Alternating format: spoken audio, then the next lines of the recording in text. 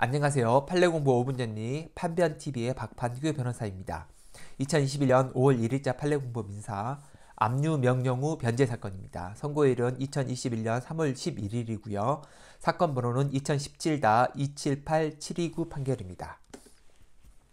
판결 요지는 다음과 같고요. 이, 사, 이 영상 보시고 나서 궁금한 점 있으시면 어, 판례 공부 원문을 찾아보시면 되겠습니다. 이 사건은 추신금 사건이고요. 원고는 큰들이라는 그 회사의 채권자였습니다. 그러니까 돈을 빌려준 사람이죠. 그리고 피고는 큰들이라는 회사가 식자재를 납품한 회사였는데 그 납품을 받는 업체였습니다. 그러니까 납품을 해서 큰들이 이제 물건을 대주는 거죠. 어, 그래서 이제 뭐그 채권자가 돈을 달라고 하니까 어, 피고인이 상고를 했는데 상고 기각된 사건입니다. 내용을 한번 보시죠. 원고는 이 큰들이라는 그 회사, 이 회사에다가 어, 내장이 약소금을 주면서 25억이라는 돈을 대여를 합니다. 이 큰들은 피고한테 식자재를 공급했는데 그 대금 채권이 약 16억 원 정도 있었습니다. 약소금이 25억이었기 때문에 실제 채무는 아마 그보다는 조금 적었을 겁니다. 뭐 한 18억, 뭐 17억 이 정도.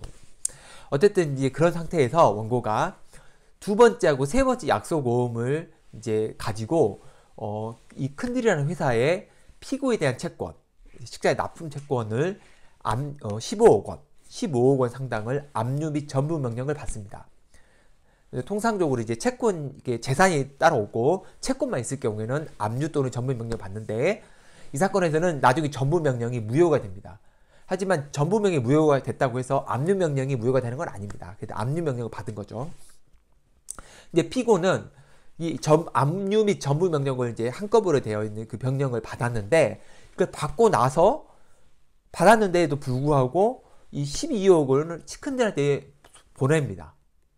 이제 여기서 이제 문제가 발생한 거죠. 이 큰들이라는 회사가 큰들이라는 회사의 채권을 지금 압류 및 전부가 됐는데 피고가 그거를 받았음에도 불구하고 어, 큰들이라는 회사한테 12억을 보낸 겁니다.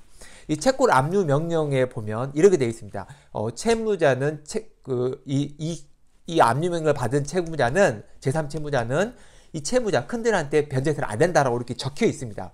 적혀 있는데도 불구하고 큰들이 이제 12억을 보낸 거죠.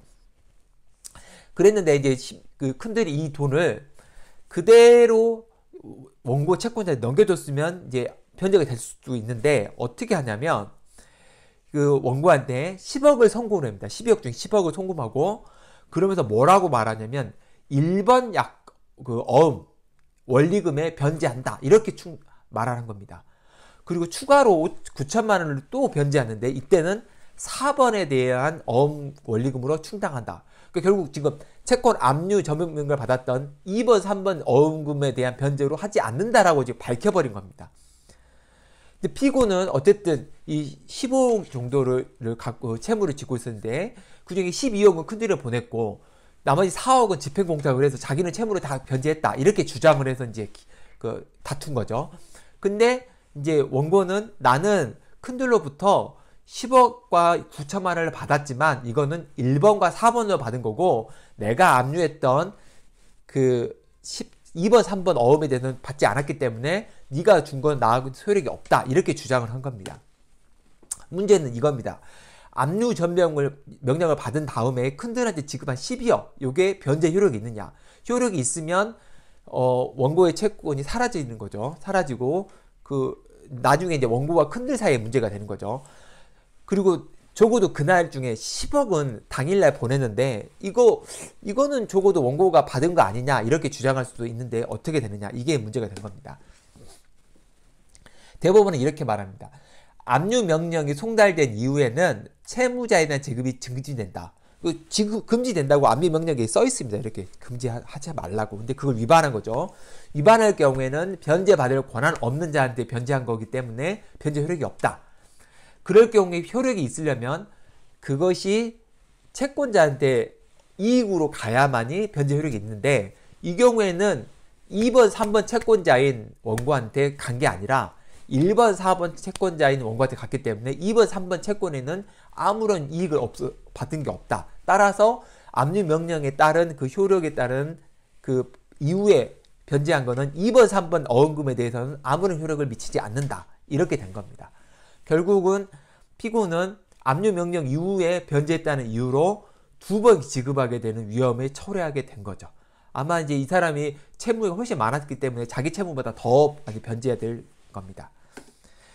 이 사건은 압류 명령을 받은 다음에 채무자에게 변제하니까 얼마나 위험한 것을 알려주는 이제 판례인데요. 통상적으로 압류 명령을 받을 일이 없다고 생각할 수도 있지만 일반인들이 가장 많이 접하는 경우가 임대차 보증금에 압류가 되는 경우가 종종 있습니다. 상가를 분양했는데 상가 임대차에 보증금에 압류가 온다든지 그 다음에 또는 그 자기 임, 집을 전세를 내뒀는데 거기에 압류가 들어온다든지 이럴 경우에 반드시 이 그 임차인한테 이 돈을 주면 안 됩니다. 지금 이 사례를 보셨죠? 압류금을 받은 다음에 그걸 줘버리면 그거는 변제 효력이 없기 때문에 원래 압류했던 그 채권자한테 또 지급해야 됩니다.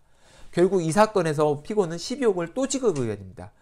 결국 나중에 큰들한테 돌려받을 수 있을지 알지는 알 수 없지만 어쨌든 피고 입장에서는 큰들한테도 한 번 12억 지급했는데 4억은 변제 공탁했는데 이거 말고 또다시 이 2번, 3번 어음에 대한 원리금을 또 지급해야 됩니다. 왜냐하면 압류 명령 이후에 변제했기 때문에.